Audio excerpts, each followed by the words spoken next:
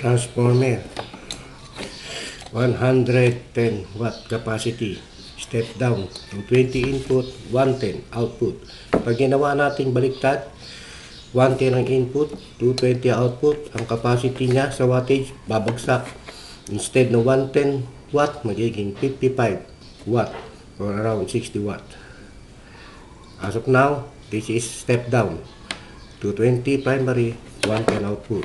Ano timbang ng ganitong kalaking transformer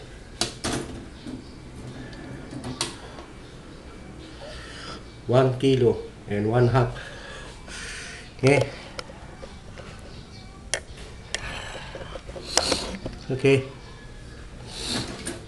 Now, I sit here.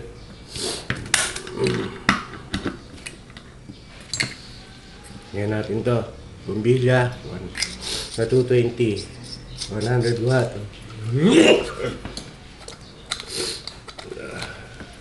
Okay, turn on.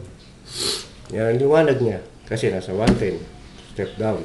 Now, inalis. Lalagay ngayon natin to. This is transformerless. Lightweight. Mm-mm. Ano timbang?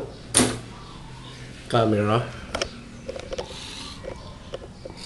Ano sila? Yeah. Okay. Kunin natin. Lagay natin to.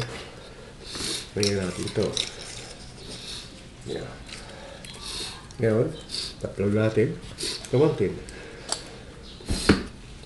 Turn on. Yeah. 220.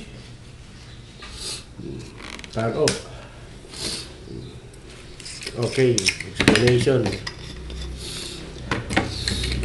This gadget, 110 input, 220 output, pwede i-design capacity 1,000 watt to 5,000 watt. 1.8 or 1.4 kilo ang bigat. No humming.